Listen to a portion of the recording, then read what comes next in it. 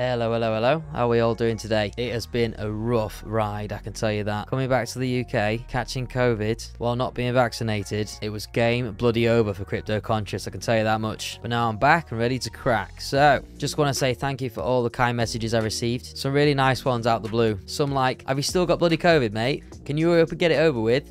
I was trying my best, boys. I was trying my best. Now, a lot's happened while I've been away. So we need to check out this little Cosmos Hub badger, don't we? Moving from Atom 1 to Atom 2. I'm going to do my best to review the changes as quickly and as simply as possible. Firstly then, what we're going to look at is why the move? Why are we moving from 1.0 to 2.0? Secondly, what's new in the game for the Cosmos Hub? We're going to look at the four new horsemen one by one and identify what their skill sets are. Next, what on earth is going on with tokenomics? And finally, what about all these naughty little controversies? So let's get bloody into it. So firstly then, why the move to Atom 2.0? Without drowning you in too much complexity, this is the most important part. Firstly, I just want to break down a common misconception. Atom is not the token of the Cosmos ecosystem, okay? Atom is the governance token of the Cosmos hub, but the Cosmos itself is more broad and represents all of the chains on the Cosmos. Now, if we look at the Cosmos stack in general here, this has been funded by the hub, and what we can see for the entire Cosmos is three brilliant things that have come into play. The Tendermint consensus, the IBC relayers, the interblockchain communication, where chains are able to communicate cheaply and quickly, and it's generally very secure. And the Cosmos SDK, where, where new entities coming on the Cosmos are easily able to plug and play new modules into their products. So fundamentally, the excellent ecosystem has already been established. There's a ton of new blockchains, there's billions of dollars of capital, and now it's time for the Cosmos Hub to bloody evolve, isn't it? So this is what this is all about. It's the next step of evolution, and these are the four horsemen that we're going to ride into the sunset. So let's start with these four horsemen and see what's new. Firstly then, I'm going to go with interchain security. If I go on CoinGecko.com, we can see that the Cosmos Hub has a market cap of nearly 4 billion pounds. That's an enormous amount of money, right? However, however, smaller chains on the Cosmos, such as LikeCoin for example, have a total market capitalization or value of all their tokens of just under 4 million pounds. Now if I was a bad actor, I could buy £2 million worth of LikeCoin. I could use this to manipulate the voting and destroy LikeCoin from within. However, what Cosmos intends to do with interchain security is use some of this 4 billion to support smaller entities and make them more secure. Hence the name interchain security because it's cross-chain from the Cosmos hub to smaller chains. This benefits smaller chains massively because they no longer have to search for validators. They no longer have to build these relationships they can simply pay some money, get access to some of this liquidity, and be more secure in general. This will allow the chain to specialize and focus on what they do best, building a platform, using the Cosmos SDK modules and stuff. So generally beneficial all around, and it brings a lot of value to the Atom token. Zaki, one of the main guys in the Cosmos crypto sphere, has stated that interchain security has already led to a lot of new projects coming onto the Cosmos. Let's hope this upward trend continues, as the road becomes smoother and smoother for our four bloody horsemen. Alright, on to horseman number two. Gonna go across here to liquid staking. I have made videos on liquid staking before, however, to just briefly explain what this means, I'm going to show you a little graph, which is also in the Cosmos Hub white paper if you can be bloody bothered to read it. Basically, it goes like this. There are applications like Quicksilver, okay? So what normally happens is, on Keplr Wallet, I have my Atom token, I stake my Atom token, and then I get my staking rewards. Done and dusted, right? Takes about 21 days to unbond. Now, what Quicksilver, one of the consumer chains on the Cosmos intend to do is be a little bit of a game changer. You would stake your Atom with Quicksilver, okay? So you would still receive staking rewards, but on top of that, you would also receive Q Atom. With your Q Atom, you'll be able to use this on other decentralized financial applications, and this will allow you to get even more rewards. So rewards on top of rewards. This methodology has been around for some time on Solana and has been a long time coming for the Cosmos. Many believe this to be the future, and the intent is to expand this across all chains in the future. So no longer will you have to stake your Atom and it just exists giving you returns. You're also going to be able to manipulate another token that you receive once your Atom is staked. Pretty next level if you ask me. Horseman number three, let's go with the interchain scheduler.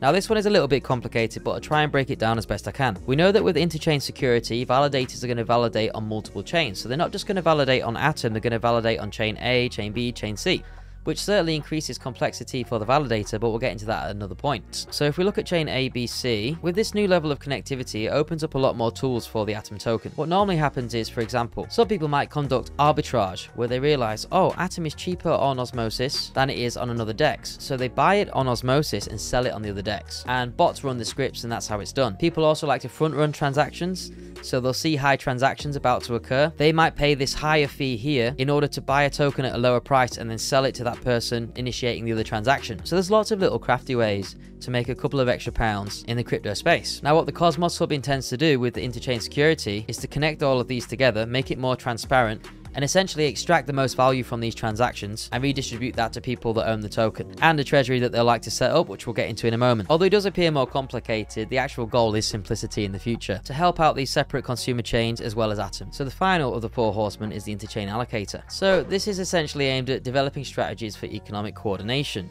Essentially, if interchain security exists between the Cosmos Hub with the Atom token and a different chain, kind of like organizations, if they both have investments in each other, like Pepsi and Coke, they both have incentives for each other to do well as they both profit from it. For me, this is actually the greyest of the four horsemen. It's just an idea that isn't solidly formed. Look at these non-fully formed ideas a bit deeper. It'll allow the Cosmos Hub to receive profits and rebalance portfolio assets. I guess they will be receiving assets from the consumer chains that they are part of, particularly if some of those assets are strategically held and there's a return on those investments in terms of inflation. It increases Atom's exposure and yeah, fulfills political alliances. But again, for me, the greatest and the weakest of them so far, but understandably, a mechanism must be in place to regulate this and these connections if a DAO is not to be used or trusted. So the scheduler and the allocator are supposed to work together, where the scheduler monetizes the IBC successes and the allocator is more focused on monetizing the successes of the actual chain itself, where the connections will hopefully thrive. But of course, course, if they don't, pew, we all know what can happen. Alright, so those are the four horsemen. Now, thirdly then, tokenomics changes.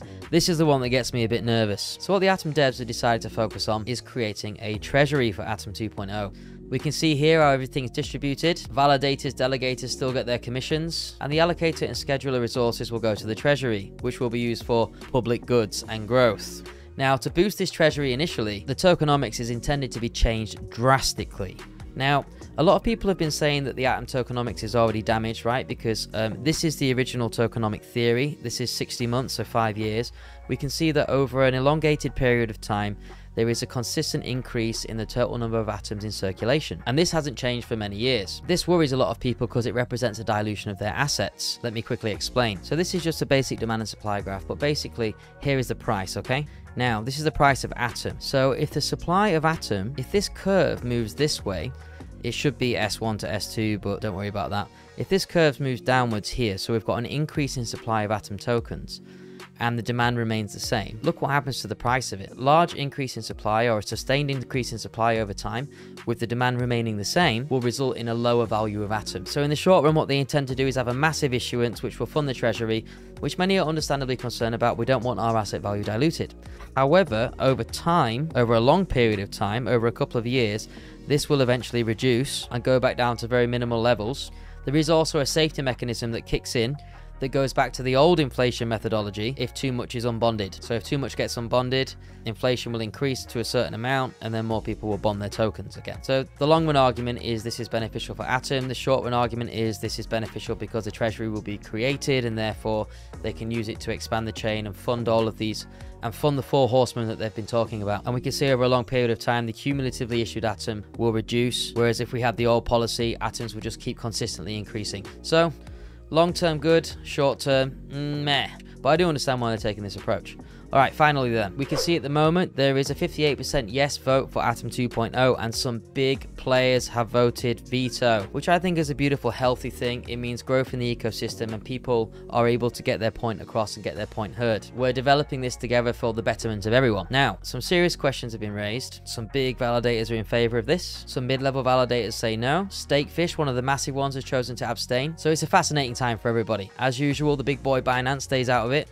So the controversy then, people do actually get frustrated that the big boys stay out of it. It gives others greater power in the vote. Another issue is the increasing in complexity for validators. If you validate Atom token, then you will also have to validate all these other consumer chains at the same time. If you make one mistake, that will apply to all. So validators are going to have to deal with that increasing complexity on chain. Next, what about this treasury? Now in economics, public goods are for the good of everybody as it can't be controlled by regulatory bodies and you have complete sovereignty over who you send it to and what you do with it, providing it's not stored on a custodial exchange. But what is the public good they're talking about, this needs to be fleshed out in more detail. We have seen in the past that DAOs decentralized autonomous organizations, will vote for projects that have no merit, and a lot of these DAOs that have the voting power are validators. Just look at some of the projects that got onto Osmosis in the earlier days. So can we really trust all of these funds going to good public goods? I'd like to see a stronger governance structure and see who's in charge of these governance structures. Perhaps implement a system like Monero where projects are needed and people put bids in for them and then funds are released incrementally. That would be quite nice. But I need to see that this is governed very well and the funds are used to really develop this system and make it thrive because there's a lot of potential here. Next, with interchain security, some some believe this is a bit basic and they're already pushing for mesh security,